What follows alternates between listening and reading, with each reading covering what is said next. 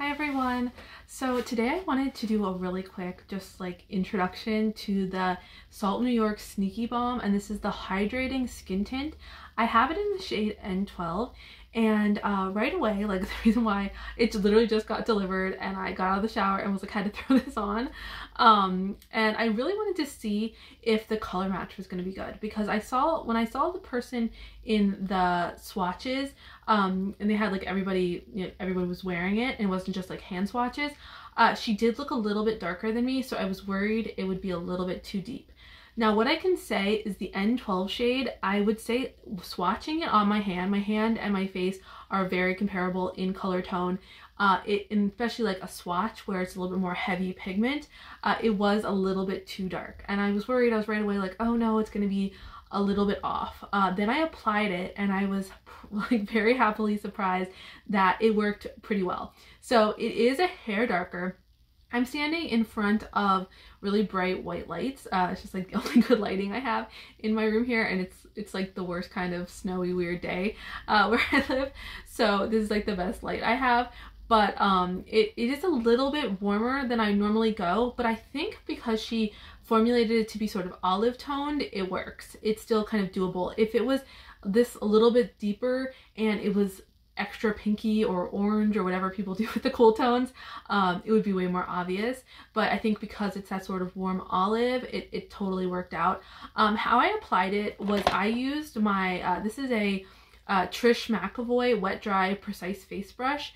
And um, I like this brush. It's like, if you can see, it's a little bit bigger than like a traditional flat top angled, um, or I guess it's a flat top angled like kabuki brush but um, this is a little bit bigger than that. But I love it because it works when you try and use like a concealer product as a foundation and you need a little bit bigger than a concealer brush, but it gives you more sort of coverage without being like too much coverage. So when I first applied this, I did a really light layer and I would compare it to like the Uncover uh, concealer from RMS as far as like the first layer and then I was able to build it and what I loved about how when I built it especially about the areas so like around my nose uh, I have some like extra sort of scarring from pimples. I don't actively have any pimples right now, but I have some scarring and it did a really good job of just sort of neutralizing them. I would say that it didn't cut all of the color out.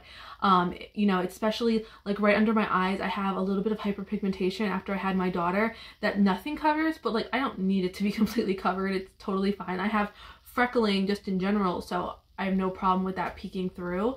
And what I like is that like in between my eyes, it didn't gather. It didn't gather around my nose, even in the pores on my nose, which can sometimes be like a spot the foundation really sinks. It, it's not sinking there. And I keep checking it. I did not powder it. Um, I, I'm on the dry side, so I really don't powder foundation very often. I only ever use powders to like make my uh, face look a little more luminous. So I'll use like my Ethereal Light from Hourglass just to make myself look more luminous, not so much to ever bring down like oil because I just don't have that much oil on my face.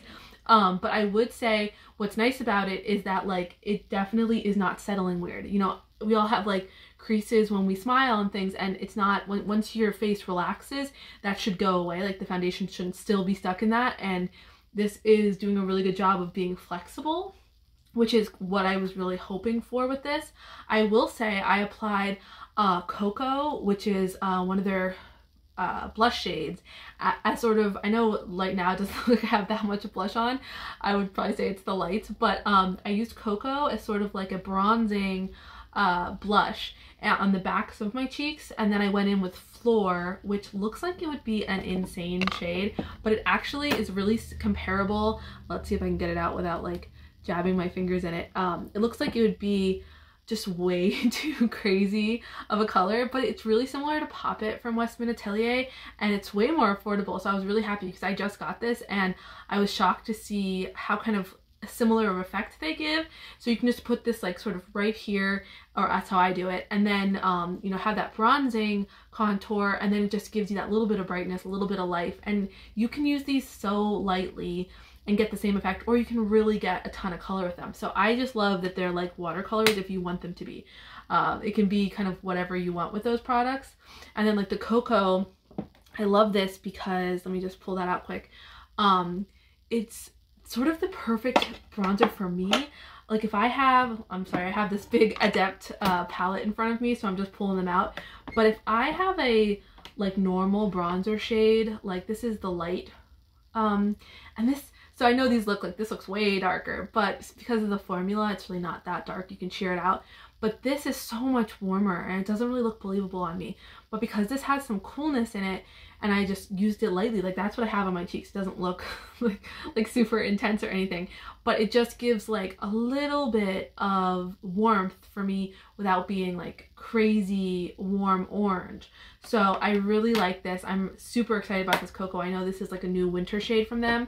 Uh, these are like all the ones I got. I got a couple right now, um, but already super excited about them. I also think Sugar Plum, which is another new one from them, if you really like rose or rose, I'm not sure if it's rose or rose, but um, the, or I guess this is just plum. Oh, I thought, why, why did I think this was Sugar Plum? I'm not sure. But this, if you like the rose shade and you wanted maybe something a little bit cooler, this is a really good option. This looks so pretty.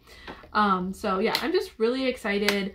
I my only thing is if they could do like an adjuster shade for the the foundation or one shade lighter. That's my only really uh, criteria about it, or, or I guess critique.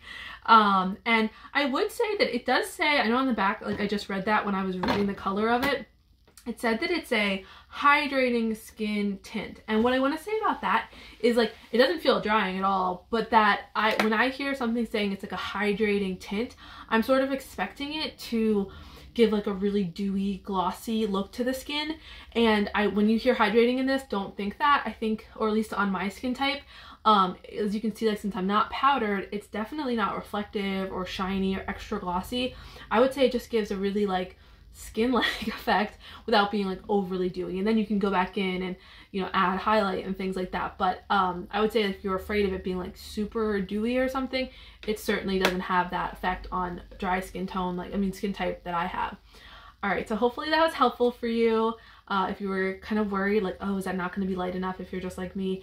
Um it, it definitely is up for most people i think it would be like a really good fair shade and then um, I think that warmth makes it a little bit more wearable, especially if you don't have like that orange undertone. All right, thanks.